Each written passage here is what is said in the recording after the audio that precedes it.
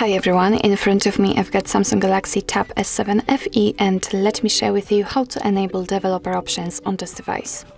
So first of all, let's begin with opening the settings. And here uh, on this left section, we have to um, go to the very bottom of the list and find about tablet. Now let's move to this right section and here we should find the build number and I believe it should be in the software information. So let's tap on it and as you can see the build number appears and all we have to do right now is to simply keep tapping on it until we'll see that we are in the developer mode. The developer mode has been enabled so now we can go um, to this left section and as you can see after scrolling down again we can see the developer options which simply appeared under the about tablet.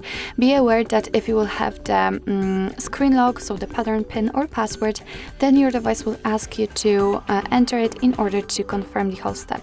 So let's enter the developer options and as you can see here we've got actually plenty of advanced settings which we can customize. So for example we can show view updates, we can change the animator duration scale, we can show visual feedback for tabs.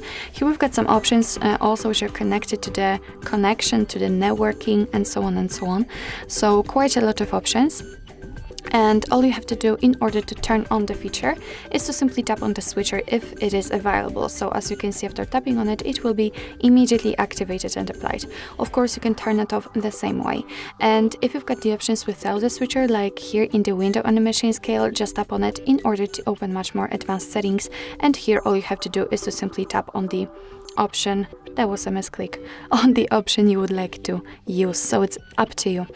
And if you're done with customization of developer options if you want to turn them off then simply tap on the switcher at the very top on this bluish um, background. And as you can see those options are inactive and immediately actually the developer options disappear from this uh, this uh, general settings list. So after getting back and entering the settings again you won't be able to uh, to enter the developer options. But of course no worries if you would like to customize them again. Just go back to the build number step and keep tapping.